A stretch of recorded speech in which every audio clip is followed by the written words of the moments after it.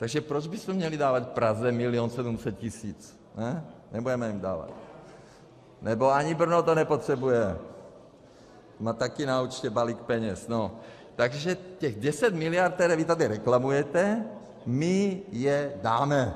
Já jsem v životě nevěřil, že jako tedy relativně ještě mladý člověk, který má rád legraci a který jako není žádný suchar, budu ze své pozice se snažit dovychovat trochu pana premiéra České republiky, v tuto chvíli tedy pana premiéra Babiše. Jako já zvládnu, když má je někdo dobrý řečník a má dobrou formu, anebo není dobrý řečník, ale ta jeho řeč má nějaký obsah. Jedno nás pobaví, druhé nás poučí. Já jsem u pana premiéra neviděl teda ani formu, ani obsah.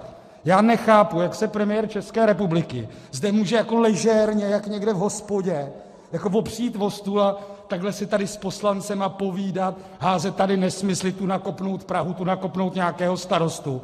Prostě já jsem přemýšlel, já jsem tady minule trošku se zastával pana Ferjenčíka, protože to je chování ministrů vlády Andreje Babiše, tady zažíváme poměrně často.